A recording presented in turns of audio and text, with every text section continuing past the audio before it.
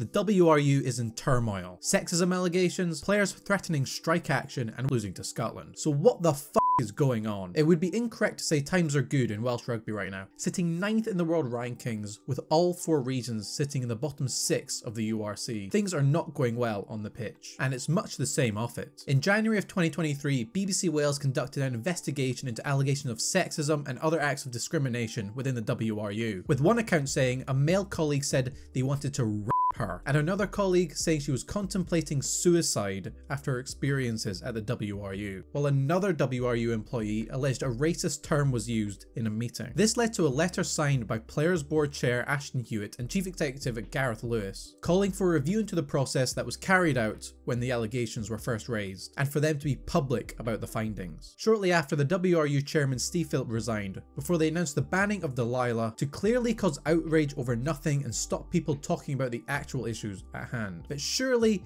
things can't be getting any worse. Well no. To compound on to this, after a horrific start to the Six Nations, seeing Wales getting heavily beaten by both Ireland and Scotland, the Welsh team conducted a walkout during a sponsor event over the lack of new contracts being offered to players within the four regions, and the possibility of strike action happening before the game with England in round 3 of the Six Nations. The WRU provides funding to Cardiff, Dragons, Ospreys and Scarlets to help them compete financially with richer clubs abroad so that they can have control over Welsh internationals. A new deal needs to be struck between the WRU and the regions by the end of this season with a reported 70% of players, or 70 players I've seen both reported, not knowing if they will have a contract coming this summer or not. The regions are unable to offer contracts until the deal has been made and it is reported that WRU has reduced the funding from 27 million for the three independent regions and the 9 million that goes to the Dragons. This would see many top players needing to take a drastic pay cut or leave Wales, which isn't really an option if they want to play for the national team. To play for Wales, you must either play your rugby in Wales or have more than 60 caps. But on top of that is the financial situation of rugby overall. Sam Warburton said in a column that last month, Cardiff's players were only played due to the kindness of their owner and would otherwise have followed Wasps and Worcester into administration. The Welsh game seems in dire straits. Even if Wales did remove the 60 cap rule, where would the players go? If they want to play for Wales, they won't be able to go to Japan Super Rugby or the MLR as they play a large chunk of their season over the Six Nations, which would really only leave European teams and South Africa. I think South Africa would be unlikely as they import very few players, and the travel back and forth during the Six Nations would be horrific. This leaves 33 teams, and it's unlikely that Scotland or Ireland would want to house Welsh internationals and would rather imports they wouldn't want to release during the Six Nations. And we all know the financial struggles in England right now. Really only leaves the top 14 as an option. The WRU announced would be 94 million pounds in revenue in 2022 and a 3 million pound profit, matching pre-COVID numbers. Why are they doing this? They claim they have been overpaying players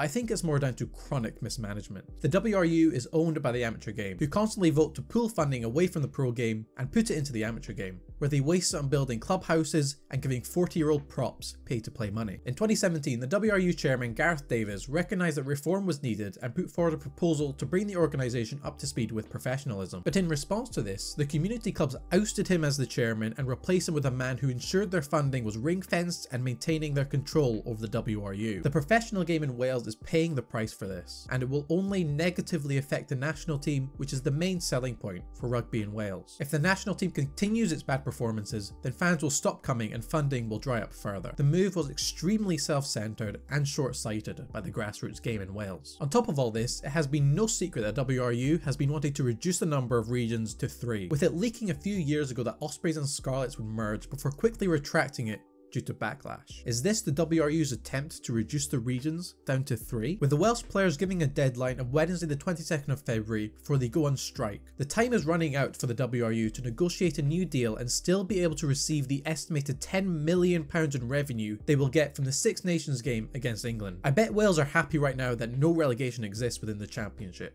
A topic you can learn the pros and cons about by watching this video right here. Thanks for watching.